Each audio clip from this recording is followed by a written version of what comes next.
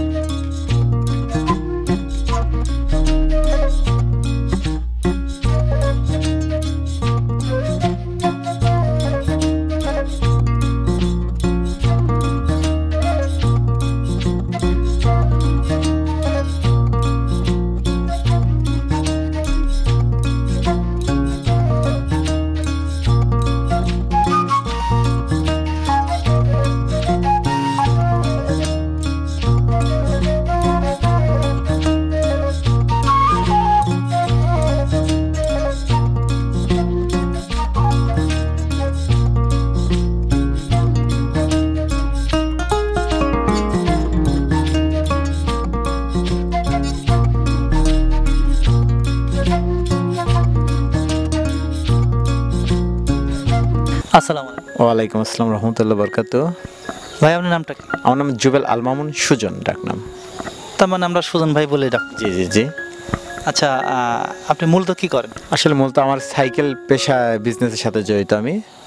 মানে সাইকেলে কি শোরুম না কি ধরনের? আমার বাইসাইকেলের শোরুম আছে চাটমোহরে। এখানে? জি জি এখানেই আচ্ছা এই শোরুমের পাশাপাশি আমরা দেখতে পাচ্ছি যে আপনি বিশাল একটি ফেন্সি জাতের খামার গড়ে তুলেছেন। একদম বাণিজ্য আকারে। তো সাইকেলের মানে ব্যবসার পাশাপাশি এটা কীভাবে মেনটেন করেন? আসলে কবুতর পালনটা আমার পুরাটাই শখ। শখের বসে আসলে কবুতর পালন সৃষ্টি। আসলে দীর্ঘ দশ বছর আগে ফেন্সি কবুতর পালন শুরু করি। তবে লকডাউনের পর থেকে আমি বাণিজ্যিক আকারে ফেন্সি কবুতর পালন শুরু করছি।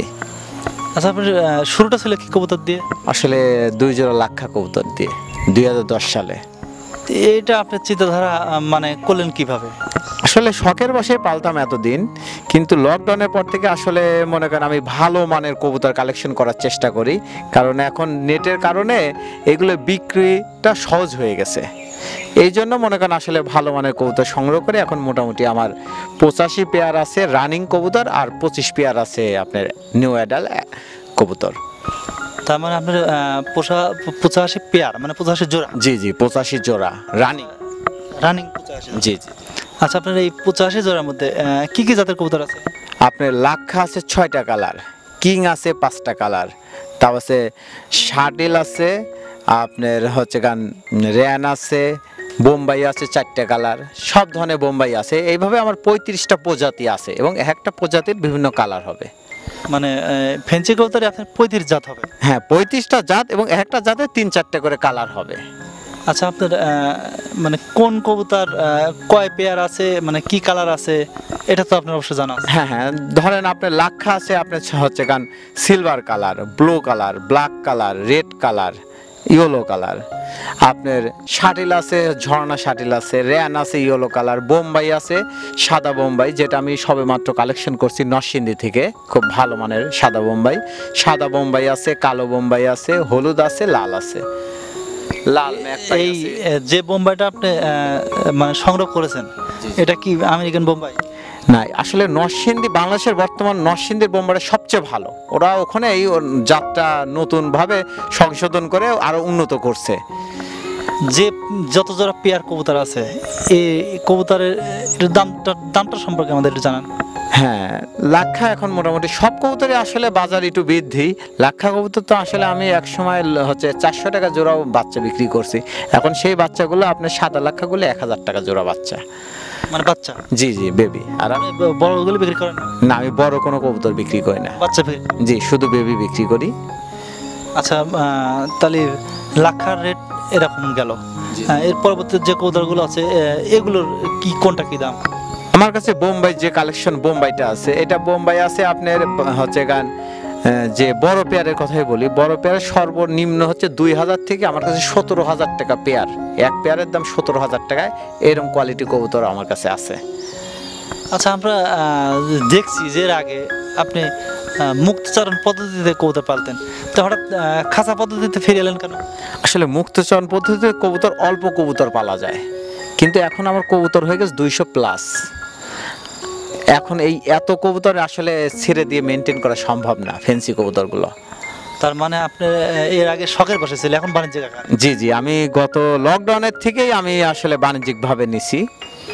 আচ্ছা আমার আমার আম, এই ভিডিওটা দেখে যদি কোনো ব্যক্তি কবুতর কিনতে চায় সেক্ষেত্রে কি আপনার নাম্বারটা আমরা ডিসক্রিপশনে দিয়ে দিতে পারি? হ্যাঁ অবশ্যই দিতে পারেন।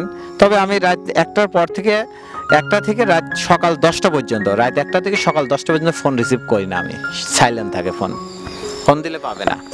আচ্ছা আপনার আমরা দেখতে পাচ্ছি আপনি সিসি ক্যামেরা লাগাইছেন। এটা লাগানোর কারণ? আসলে আমি বিজনেস বিভিন্ন বিজনেস সাথে জড়িত তো আমার সিসি ক্যামেরাগুলো নেট লাইন করা। আমি যেখানেই বসে থাকি আমি মোবাইলের আমার হচ্ছে গান খামারের আমার ব্যবসা প্রতিষ্ঠানের ভিডিওগুলো আমি দেখতে পাই। এই জন্য লাগিয়েছি আপনার সিসি ক্যামেরা কয়টা আছে? আমার এখানে আছে আমার খামার দিয়ে বাগান বাড়ি দিয়ে তেরোটা আছে। আচ্ছা আমরা দেখতে পাচ্ছি যে আপনার খামারের চারপাশে নেট দিয়ে ঘেরা করে রাখছেন। এটা কারণ? আসলে হচ্ছে বন্য পানির আক্রমণ থেকে যাতে হচ্ছে গান প্রতিরোধ করা যায় এর জন্যই ঘেরা। আবার কোনো অপরিচিত লোকও যে যাতে যে আমার খামারে পাশে না যেতে পারে এই জন্যই ঘেরা। আচ্ছা আপনি কবুতরগুলো রোগ হলে কি করেন? আসলে খাঁচায় কবুতরের রোগ নির্ণয় করা খুব সহজ। যদি আপনি টয়লেটটা প্রতিদিন চেক করেন সকাল বিকাল তাহলে আপনি রোগ নির্ণয় করতে পারবেন সহজেই। মানে আপনি বুঝতে পারেন যে কবুতরের রোগ জি কবুতর যদি আর রোগে আক্রান্ত হয় আপনি এক দুই ঘণ্টার মধ্যে পায়খানাটা পরিবর্তন হয়ে যায়। স্বাভাবিক পায়খানা চেয়ে হয়তো সবুজ কিংবা পাতলা বিভিন্ন রকম হয়ে যায়। আচ্ছা রোগ যদি হয়েই যায় সেক্ষেত্রে আপনি নিজে ট্রিটমেন্ট করেন নাকি কোন ডাক্তারের পরামর্শ নেন? না আমি নিজেই ট্রিটমেন্ট করি এবং আমার পাশে কয়েকজন পরামর্শদাতা আছে বড় বড় খামারি। ওনাদের আমি পরামর্শটা গ্রহণ করি। মানে কোনো সমস্যা হলে তারা জানান তারা আপনাদের পরামর্শ দেয়। জি জি জি পরামর্শ দেয়। এটা কি কবুতর? এটা হচ্ছে বাসিরাজ কোকা। মানে কোকা? হ্যাঁ কোকা বাসিরাজ কোকা। আসলে কোকাটা দুই ধরনের হয় একটা হচ্ছে গোবিন্দ একটা হচ্ছে বাসিরাজ। বাসিরাজের কোকাটার ডাকটা হচ্ছে গান আপনার চিকন এবং সুমধুর। আর গোবিন্দ কোকারটার ডাকটা একটু মোটা।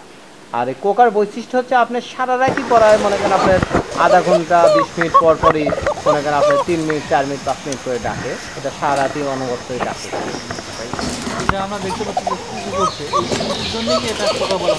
হয়? এই কারণে যেন হয়তো কোকার উৎপত্তি।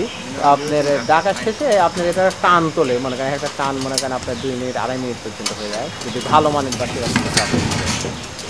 এই কোকার রেটটা কি রকম একজোড়া যদি গোবিন্দ কোকা আপনি কিনতে চান দুই থেকে আড়াই হাজার টাকা। রানিং চেয়ার আর যদি বাসি রাস কিনতে চান, তাহলে চার থেকে সাড়ে চার হাজারের মধ্যে। আচ্ছা।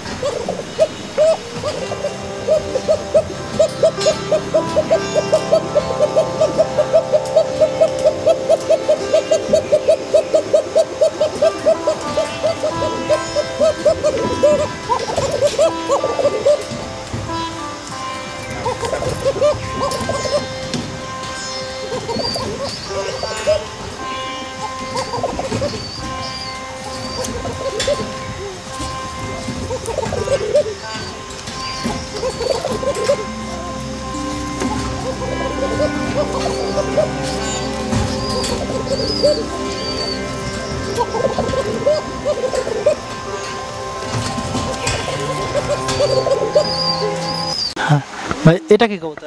এটা ঝর্ণা শাটিল। শাটিল? জি জি শাটিল। আপনি দেখেন অনেকগুলো সুন্দর এবং বুকে সেলাই আছে প্রত্যেকটারই। আচ্ছা এই শাটিলের কটা কালার হয়? এটা আসলে ঝর্ণা শাটিল হয় ব্লু কালার হয় ব্লু শাটিল হয় দুইটা কালার হয়। শাটিল তো অনেক ধরনের আছে। হ্যাঁ বিভিন্ন কোয়ালিটি আছে কিন্তু এটা আসলে দুইটা কালার হয় ব্লু শাটিল আর ঝর্ণা শাটিল এই দুইটা আসলে এই শাটিলের দামটা কীরকম? এই একজোড়া শাটিলের দাম পড়বে আপনার তিন হাজার টাকা। তিন হাজার টাকা জোড়া। জি জি কোয়ালিটি হবে। আপনার শাটিলে প্রথম সপ্তাহে আপনার বুকে সেলাই থাকতে হবে। আপনার ঠোঁটগুলো অনেক ছোট হতে হবে। আচ্ছা সুজন ভাই আপনার খামারটা শুরু ছিল কতদিন আগে? দুই হাজার দশ সালে। মানে আপনার শুরুটাই দুই হাজার দশ। হ্যাঁ ফেন্সি কবুতর পালন দুই সালে। আচ্ছা আপনি যে এই- এই ঘর করেছেন এই ঘর বাবদ আপনার কত টাকা খরচ হয়েছে এটা কি জানা আছে? আসলে ঘরটা করছিলাম আমি আসলে মুরগির হচ্ছে গান লেয়ার মুরগির শেড ছিল সেই ঘরে আমি ব্যবহার করতেছি। মানে এখানে মুরগি পালন মুরগি ছিল নাকি মুরগি ওঠানোর চিন্তা ছিল? না মুরগি ছিল এক সময় মুরগি ছিল। সেই ঘরে আমি এখন কবুতরের খামার করছি। তার মানে মুরগিটা ছেড়ে দিয়ে আপনি কবুতর পালনটা মানে লাভবান মনে করছেন? প্রথমে শখের বসে এখন আশা রাখি লাভের পথে হাঁটতেছি। আচ্ছা। আমাদের সময় দেওয়ার জন্য ধন্যবাদ। ভালো থাকবেন। আল্লাহ হাফেজ। ওকে ধন্যবাদ। যদি আমাদের ভিডিওটি ভালো লাগে তাহলে অবশ্যই লাইক করবেন কমেন্ট করবেন শেয়ার করবেন। এবং যদি আমাদের চ্যানেলে নতুন হয়ে থাকেন তাহলে অবশ্যই সাবস্ক্রাইব করে আমাদের সঙ্গে থাকবেন। আর যদি অলরেডি সাবস্ক্রাইব করে থাকেন তাহলে থ্যাংক ইউ সো মাচ আজ এ পর্যন্তই। আল্লাহ হাফেজ।